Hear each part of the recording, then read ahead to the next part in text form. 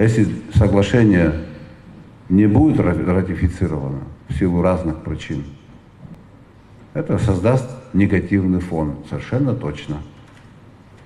Потому что так уж получилось, что у нас к российской стороне просьб значительно больше,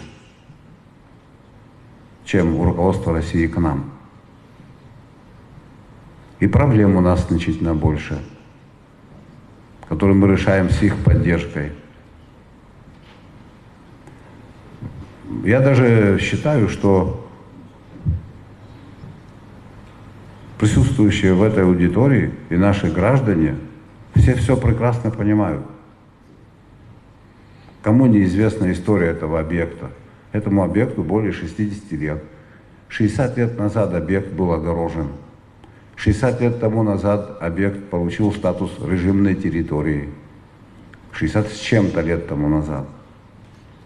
Там хотят что-то снести, что-то построить, там здание ветшало, бассейн там сломался, он, чаша треснула. Я был там две недели, проживал на этом объекте.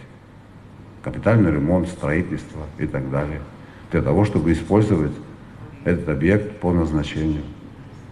Для меня, для меня как гражданина и президента Абхазии, польза этого соглашения очевидна.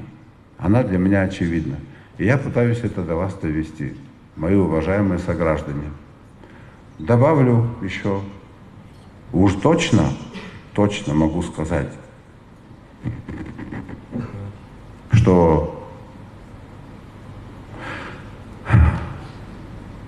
без этой дачи Российская Федерация точно сможет прожить.